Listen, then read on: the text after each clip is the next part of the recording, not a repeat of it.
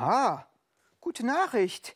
Frauen in Saudi-Arabien dürfen jetzt doch Auto fahren, wenn das Auto entsprechend präpariert ist.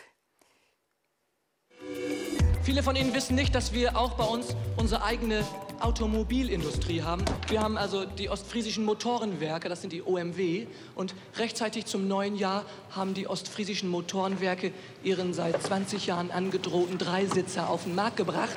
Und unser Testfahrer Harry Hurtig hatte Gelegenheit, ihn auf Herz und Nieren zu prüfen. Und hier ist sein Bericht. Der OMW 2000, ein Huhn, das goldene Eier legt, so meinen seine Hersteller. Ein Wagen mit dem gewissen Etwas, das meinen wir. Und das ist auch mein erster Eindruck. Er rührt von dem Nebelhorn her, das dem Wagen sein charakteristisches Profil verleiht.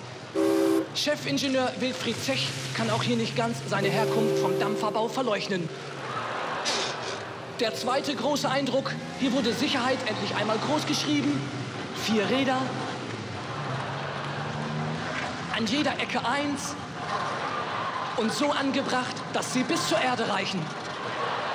Das bedeutet Straßenlage und Griffigkeit. Auch an Fahrkomfort wurde gedacht. Die vollhydraulischen Scheibenwischer, zwiefach genoppt und innen befestigt. Denn die Ostfriesen fahren ja immer... Ein Blick unter die Motorhaube zeigt uns deutlich 12 PS. Übersichtlich angeordnet und jedes einzelne austauschbar. Das erspart Ärger bei Reparaturen. Die Probefahrt über den Werkshof bestätigt den ersten positiven Eindruck.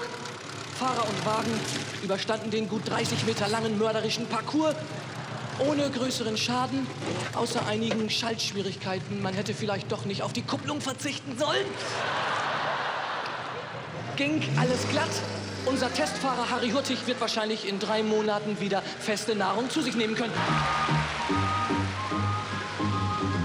Das ist kein gelungenes Beispiel für ein gutes Westauto.